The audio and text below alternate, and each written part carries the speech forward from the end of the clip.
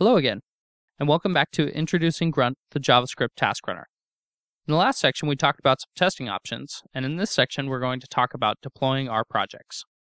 In this video, we'll discuss creating a deployment package. This will involve integrating all of the tasks we've used so far tied together. First step is to tie all of our tasks together to create a clean package of only production-ready files. Let's look at what we already have.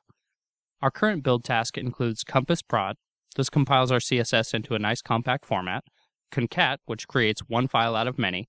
Copy, which moves the files to a new distribution folder. Then finally, CSSMin, which minifies the results.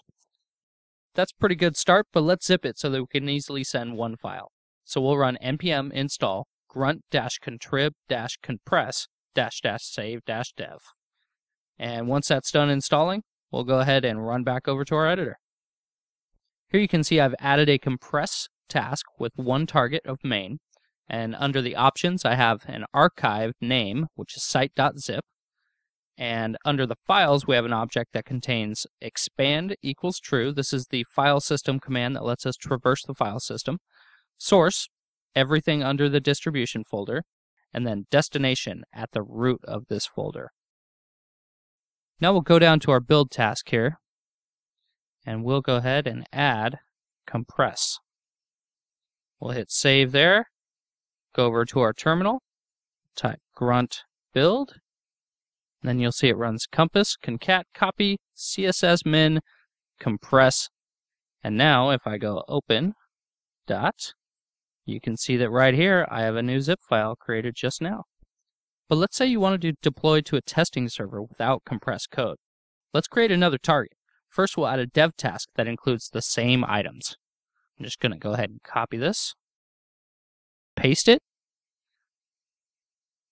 but I'm going to call this task dev, and I'm going to change my targets, and I'm going to add some new targets to these. Adding dev to all of them. There we go. Now we'll go through the tasks listed and we'll add prod to the existing targets, then add a dev target. Here we have compass, which already had a dev and a prod for different outputs. Then we have concat, Let's go ahead and add a new one here. We'll add dev to this.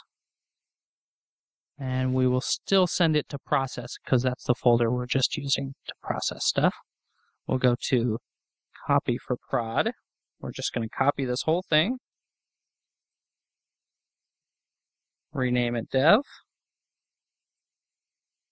And then we're going to change the destination to dev. Great. Now we'll keep going to CSS min. It's already got a prod target.